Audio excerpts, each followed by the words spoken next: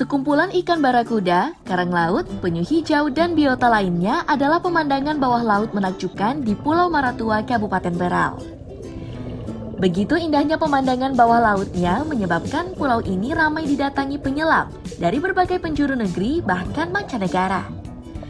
Penyelam mulai bisa merasakan sensasi tersebut di kedalaman 5 hingga 30 meter.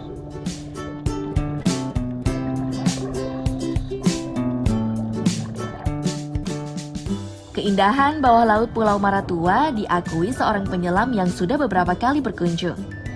Ia mengaku tidak pernah bosan menyelam di pulau ini karena hampir semua titik penyelaman sangat menawan dan memanjakan mata.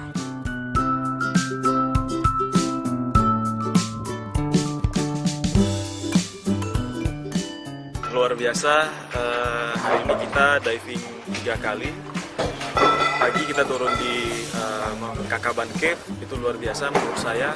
Uh, sebuah spot diving yang sangat bagus. Kemudian kedua kita turun di uh, Kelapa Duari.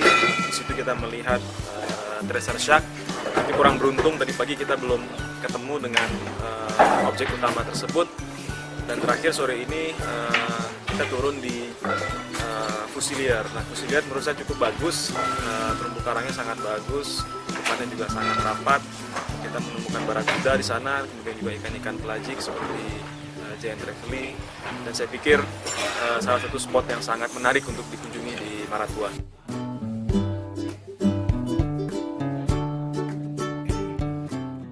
Meski pulaunya terbilang aman, namun instruktur selam di pulau ini tak pernah bosan mengingatkan para penyelam. Itu disampaikan agar tidak terjadi kondisi fatal saat menyelam.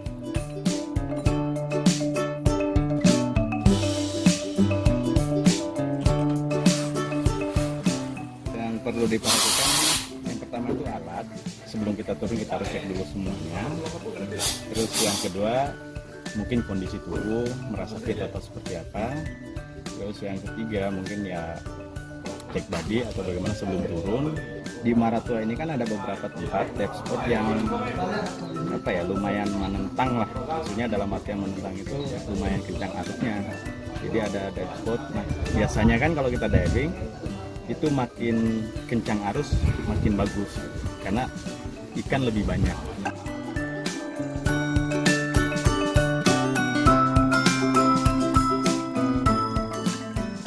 Selain Pulau Maratua, keindahan laut di Kabupaten Berau ini bisa juga dinikmati di lokasi lain, seperti Pulau Derawan, Kakaban, dan beberapa pulau lainnya.